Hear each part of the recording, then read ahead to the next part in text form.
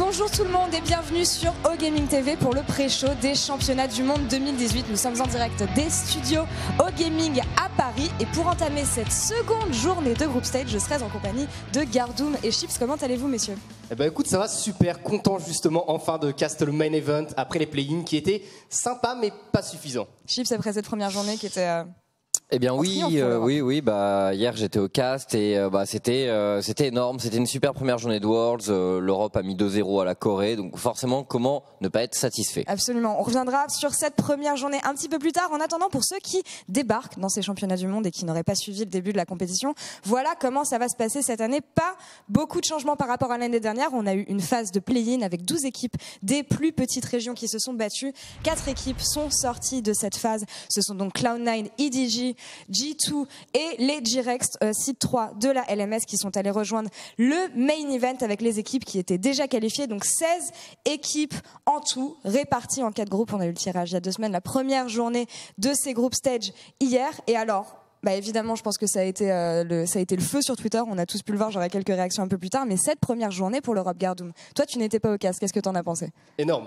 Énorme, et c'est un plaisir en fait de voir euh, bon, les G2 qui ont joué leur jeu et ça a bien marché contre toute attente. Mais les Vitality, en fait, ce qui me fait peur, les Vitality, c'est que ça me fait penser à toutes ces équipes que je dirais jeunes. On a les Griffins qui étaient pas en Corée. Vitality, c'est une équipe qui vient de Challenger Series à la base quand même. Il y a un an, ils étaient là-bas et là, ils sont directement au Worlds. Donc c'est une belle histoire, mais c'est le playstyle un peu similaire, un peu fou, je dirais, et qui marche. Mais il y a un moment quand tu tombes face à des grosses équipes qui sont là depuis des années.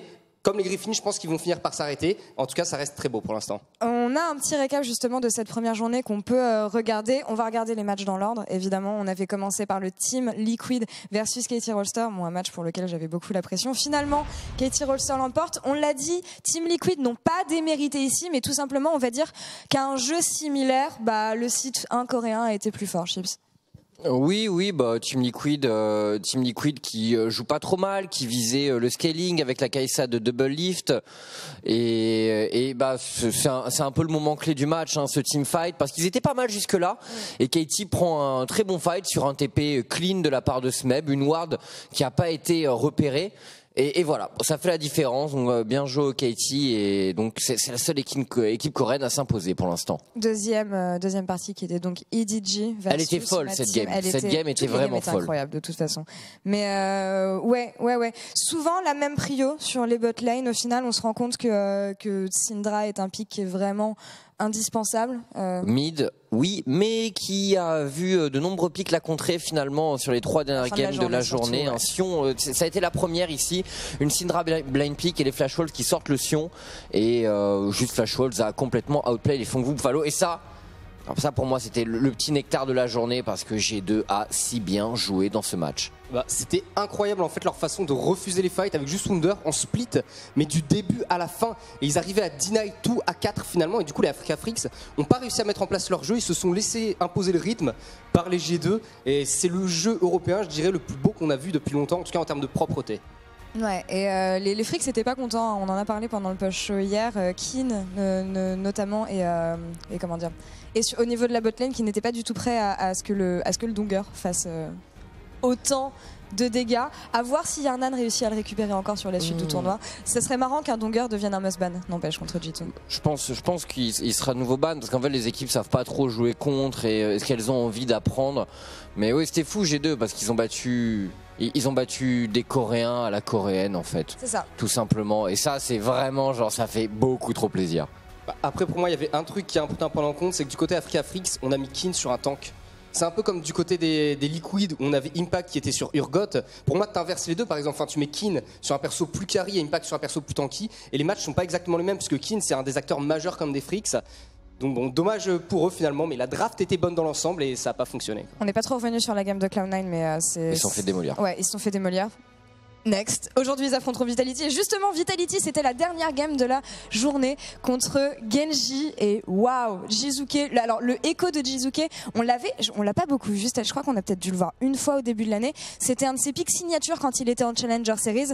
Et alors, on a eu des bruits apparemment de Crown après la game qui aurait un peu râlé en disant ouais, je veux plus jamais voir son écho. Il m'a démoli, je m'y attendais pas. Donc, grosse surprise de la part de Vitality. Là, là, qu'est-ce qu'il fait Crown? À s'avancer comme ça Il force la dévoration de Core JJ, mais en fait, euh, il condamne complètement son support.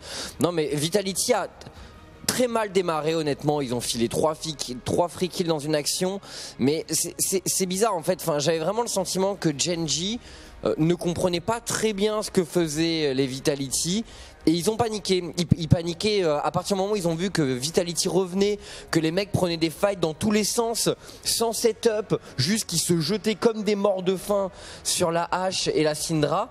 J'ai l'impression que Genji a un peu perdu son jeu et ils sont arrivés à une situation où où juste ils paniquaient de- devant les engages des Vitality. Ils, ils voient pas ça en Corée en fait. Euh, Normalement, les équipes coréennes, elles sont pas aussi instinctives euh, et, et sanguines que Vitality, donc elles essaient de préparer un minimum. Tu vois le coup venir. Vitality, tu comprends pas, genre ils, ils meurent trois fois en début de game et les GNJ ont dû se dire oh putain c'est des gros clowns. Et, Et oui, effectivement, ils avaient l'air de clowns sur le coup et mais en fait, ils ont rien lâché. Comme tu, ils ont rien lâché, ils ont continué. Et les mecs, en fait, ils ont dû se dire, mais, mais qu'est-ce qu'ils font? Pourquoi, pourquoi ils font ça là? Pourquoi ils nous dive ici? Genre, c'est pas normal, tu vois. Et c'est marrant Et- parce et voilà. que ouais, et c'est exactement le genre de game dont Vitality avait besoin ici, puisque on le rappelle, leur entrée euh, en LCS au début de l'année et même un petit peu plus tard sur la deuxième moitié du Summer Split, finalement, on se rend compte que c'est une équipe qui marche à la confiance, qui snowball sur des victoires.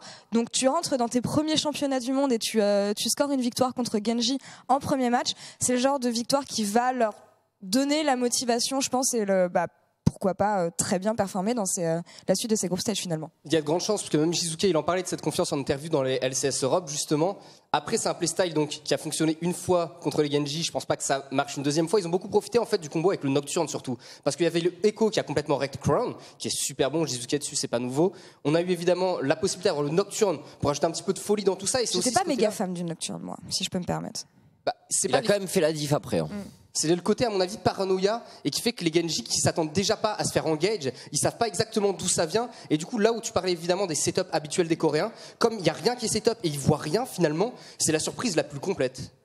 Une autre surprise euh, marrante, c'est au niveau des tweets, un tweet d'une journaliste de la LPL qui nous dit que Vitality Godlike Macro était une des tendances sur Weibo hier. Alors, faut savoir que Weibo en Chine, c'est l'équivalent du euh, Facebook euh, slash euh, Twitter slash Instagram. C'est un petit peu l'appli sur laquelle ils font tout. Et c'était même devant RNG First Win. Donc voilà. En Chine, on a tout, tout le monde a parlé de la Vitality Godlike Macro. C'est super marrant. Oui, il n'y avait pas de macro du côté des Vitality, mais on sait que c'est pas une équipe macro de toute façon. On sait que c'est une équipe euh, qui, euh, qui qui voit une cible et qui qui essaie de trouver le meilleur moyen de, directement de l'engage. Et s'il faut mettre 5 flashs pour tuer un mec et que, le- que les 5 joueurs Vitality crèvent, mais que ça fait peur à l'adversaire, ils le font, tu vois. Et parfois ils se font défoncer. Mais il y a aussi des fois où, comme hier, bah juste, euh, bah ils arrivent à, à, tirer leur épingle du jeu et à faire en sorte de retourner le match. C'était insensé et incroyable. Les fans chinois sont très contents de toute façon dès qu'une équipe euh, équipe arrive à battre une équipe coréenne, tant il y a de rivalité entre euh, ces deux régions. Un deuxième tweet que j'ai vu qui nous vient cette fois-ci de Peter Dunn, qui décrit un petit peu le style européen pendant ces Worlds. Je pense que tout le monde l'a vu. Mais au cas où, alors Fnatic joue à League of Legends, J2 play, joue aux échecs et Vitality joue au rugby. Je trouve que cette côte est Bah, magnifique. Fnatic est l'équipe la plus équilibrée que l'Europe a envoyée cette année aux Worlds.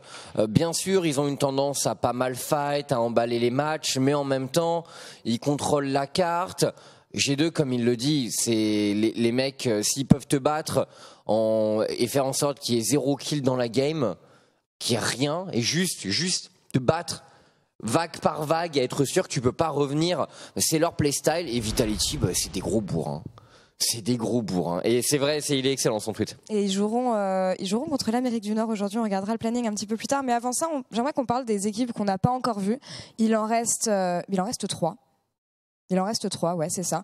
Donc les 100 Thieves, Fnatic et IG qui feront leur entrée aujourd'hui. Commençons par l'Amérique du Nord, 100 Thieves, qui n'arrivent vraiment pas en tant que favoris dans leur groupe. J'y crois pas beaucoup aux 100 Thieves. Vraiment, c'était pas une équipe en NA qui cette année a été convaincante du tout finalement du début à la fin. Il y a jamais eu de macro incroyable. Pas le Spring C'est ok, c'était pas ok, mal. C'était ok en fait, mais c'est pas une équipe tu sais, qui marque où tu vas te dire ah ouais en effet ils ont un style de jeu qui marche bien. C'est euh, globalement quand Ryu est dans des bonnes games ou que Someday est sur des carries. La dual lane Codison Afromu marche bien, mais c'est pas toujours incroyable finalement. Là où l'année dernière Codison et Olé marchaient beaucoup mieux par exemple. Du coup, ouais, si Someday Ryu sont des bons jours, ça peut être sympa, mais c'est pas une équipe à mon avis qui va aller accrocher des grosses équipes. Alors petite information intéressante aujourd'hui, on fait jouer Rikara et non euh, Codison sur. euh, J'allais poser la question justement, oui, parce que les, euh, les, les line-ups sont annoncés. Euh, oui, après, moi personnellement, de Codison et Riccara, je sais pas, genre, dans ma tête, ça change pas vraiment le visage de l'équipe qui de toute façon est, surtout euh, représenté par Someday et Afromu. Et on verra pour le reste. Euh, Unjustice qui joue Fnatic, ça a l'air d'être un match facile pour Fnatic, c'est aussi le piège. On peut enchaîner sur euh, Fnatic d'ailleurs, puisque bah on en parlait, on en parle depuis le début. Ils arrivent aussi en tant que grand favori de leur groupe, peut-être au même niveau qu'Invictus euh, Gaming ici. Euh, alors, dépendamment de qui ira sur la top lane, euh, où est-ce que Bouipo va, c'est vrai que Fnatic a montré différents Et visages. du coup, ils ont pas annoncé leur line Ça sera Soaz. Ce sera soit, Oui. Mais ils ont voilà, ils ont justement la possibilité de flex tous ces joueurs euh, à des postes différents, ce qui, ce qui est une de leurs grandes forces parce que finalement dans les équipes western, on a vu Cloud9 qui marche très très bien avec des remplaçants. Je trouve que Fnatic en Europe c'est le meilleur exemple. C'est le meilleur exemple en fait, et surtout ça change des habitudes parce que les équipes sont habituées à devoir voir d'autres junglers différents. C'est le plus commun réellement. Il y a Rikara Codison euh, côté Thieves, mais c'est très rare. Et là, côté Fnatic, le problème c'est que tu as deux top laners différents qui en même temps te changent les deux carry bots vraiment en termes de façon de jouer, en termes de playstyle. Et du coup, c'est un style de jeu qui est complètement à part. Et c'est l'avantage de Fnatic, c'est qu'ils peuvent jouer sur chacune des lanes. Ils veulent jouer top, ils mettent Bwipo top en général. Ils veulent jouer bot, ils mettent C'est Reckless. une Ils veulent jouer star mid, hein. Caps. Totalement. C'est incroyable. On, avait quelques doutes euh, par rapport à Illisang au début de l'année. Je trouve qu'il s'est quand même stabilisé sur la fin de ce Summer Split. On est loin, on est loin du Illisang de début split. Il y a quand même quelques déplacements hasardeux parfois, mais bon, euh, on va dire qu'on a quand même une discipline. Mais c'est dans le style d'Ilisang parce que ça reste un joueur qui, si possible, euh, veut toujours avoir l'effet de surprise sur son adversaire. Donc euh, il fait des choses qui parfois sont pas lisibles. Parfois il fait des trucs un peu random. Mais le truc c'est que quand il est au point et que ça lui sourit, le mec il est capable de faire des plays de fou. Et euh, il y, a- il y a quelques plays de son paille qui sont sortis euh, qui viennent de la solo queue coréenne. Oh là là. Ah, franchement, il mystifie des mecs, mais à un niveau qui est vraiment, c'est démentiel. hein. Il est vraiment, vraiment chaud, Ilisang. À côté de ça, une des questions que beaucoup de personnes se posent est concernant un joueur qui est revenu sur la line of Fnatic il y a pas longtemps, Reckless. Euh, alors j'ai regardé un petit peu ce qu'il jouait. Bon, évidemment, il s'en sort super bien. Il est quand même revenu à deux semaines de la fin de la saison régulière. On est loin du carry AD flamboyant qu'on pouvait avoir, double MVP euh, du Spring et euh, de Summer l'an dernier. Qu'est-ce qu'on peut attendre de Reckless ici, Gardoum C'est euh, le côté vraiment carry-bot. C'est à mon avis, bon, quand tu auras ça stop évidemment, tu mets, c'est-à-dire que tu auras une duo mid, enfin mid bot qui va être ultra forte et du coup Broxa va forcément dans ce cas jouer vers le bot de la map. Donc à mon avis, ça va plutôt être pour contenir des équipes qui ont une duo lane très forte.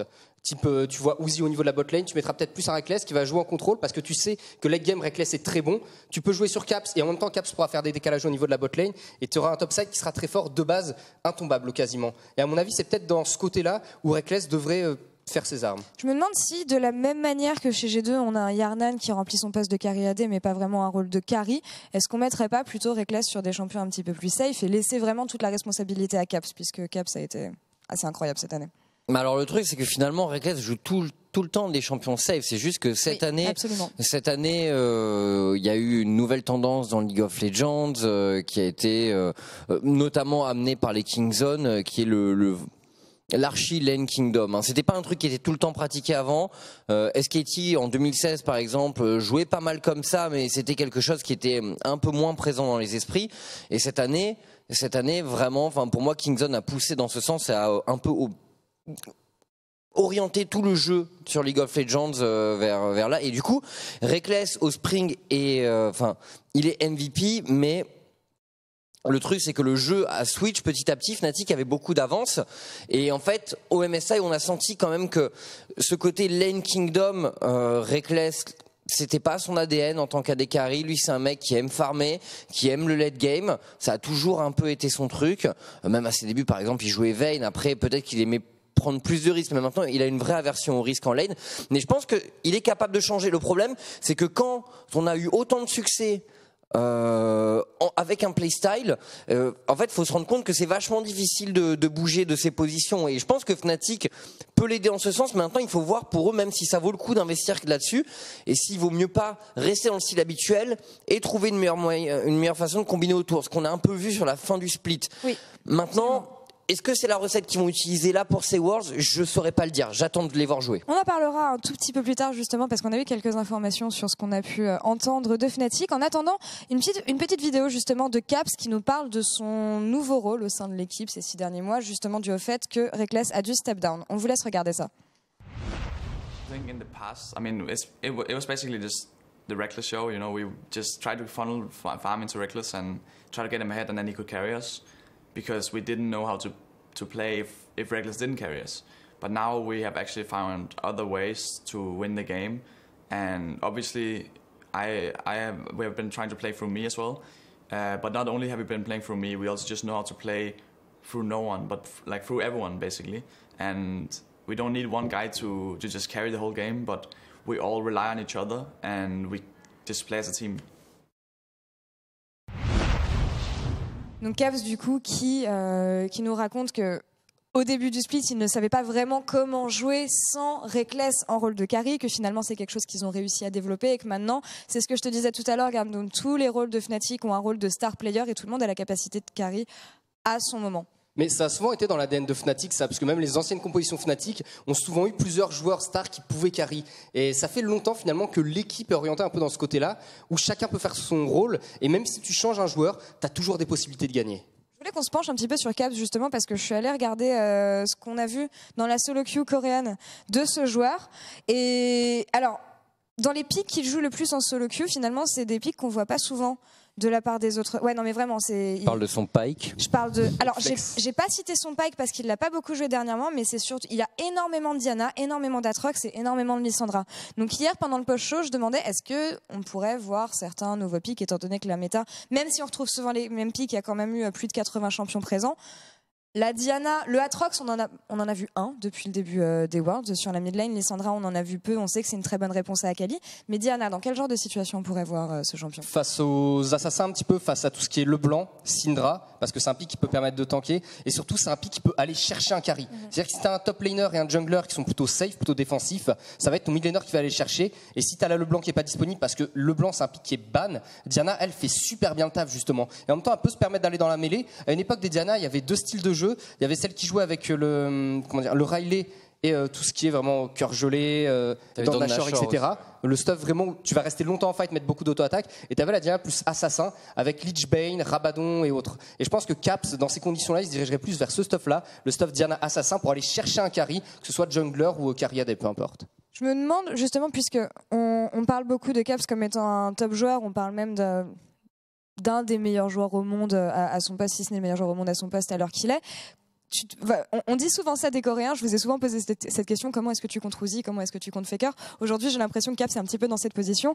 Donc, on est devant un joueur qui a des stats absolument incroyables. Vous pouvez les voir sur le bandeau. Ici, il s'agit de, de toute la saison summer, donc à savoir saison régulière ainsi que playoff. Comment est-ce que tu comptes un joueur comme Cap qui en plus est ultra créatif dans ses pics? Tu mets rookie ou Chovy.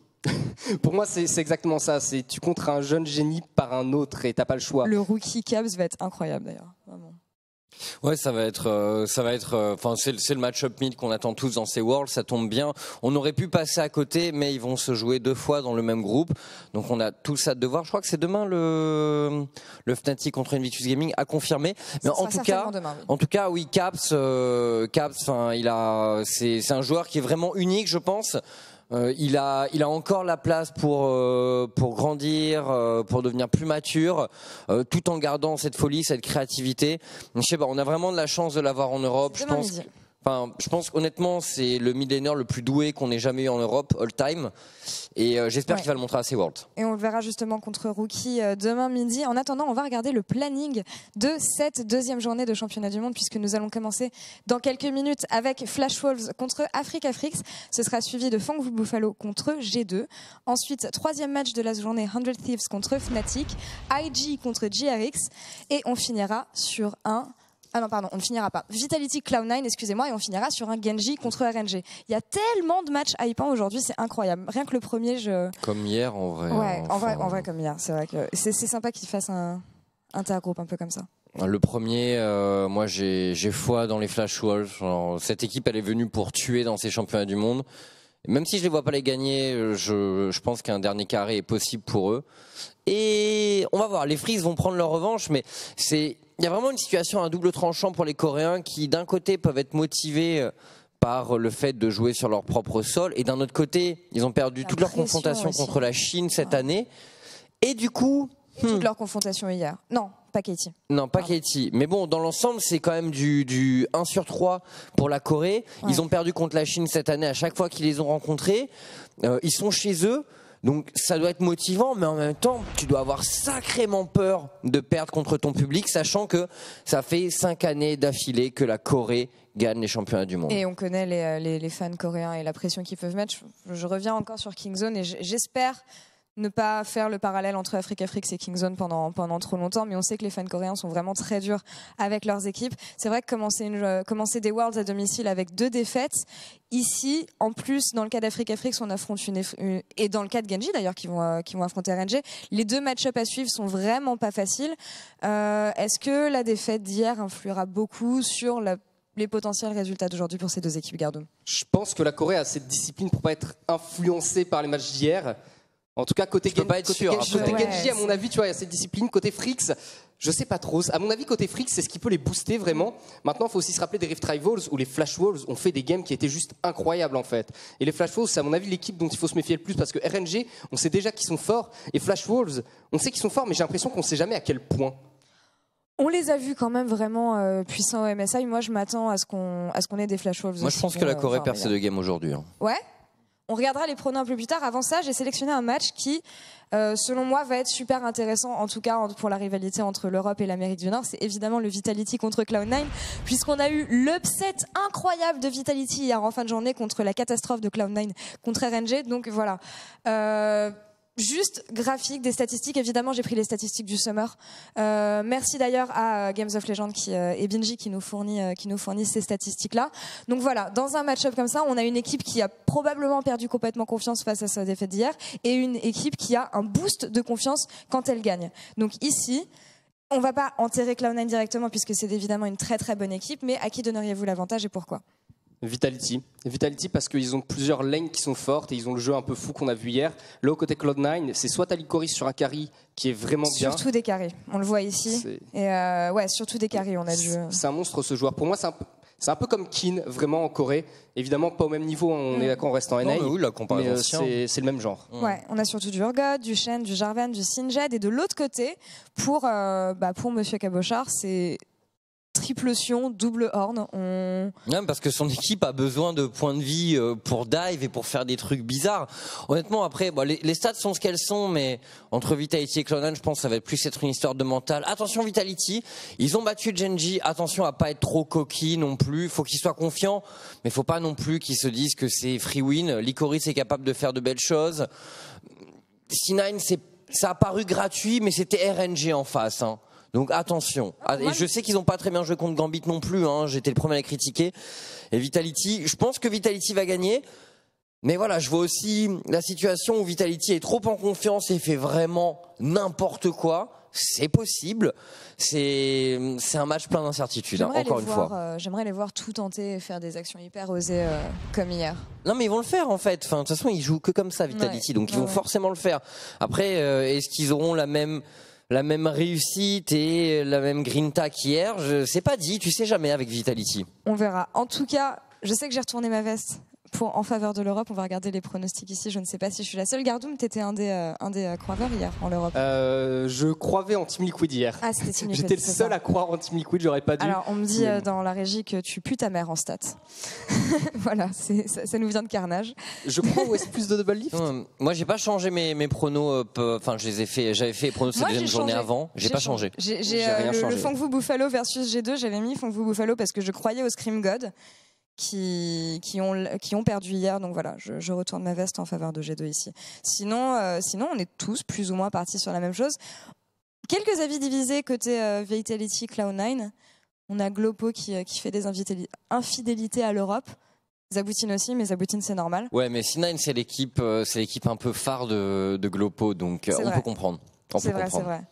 Bon, en tout cas, on verra ça tout au long de la journée. T'es déjà en tête d'ailleurs. C'est que tu te rattrapes ces dernières années sur, euh, sur les pronostics. Pas en tête, c'est Twix avec 83%, bah, Ah, c'est- parce oui, qu'il a parié sur, euh, il a parié sur euh, Vitality. C'est ça. Ouais, mais faut prendre le temps. Au MSI, j'ai commencé très bas et j'ai fini premier ou deuxième, par exemple. Faut le temps. mais je suis d'accord. À C'était totalement le contraire pour moi. C'était terrible le MSI. On verra si j'ai plus de chance cette fois-ci. En tout cas, on va se quitter pour quelques minutes et on se retrouve dans quelques instants pour le premier match de cette seconde journée. Flash Wolves contre Africa Frix. À tout de suite.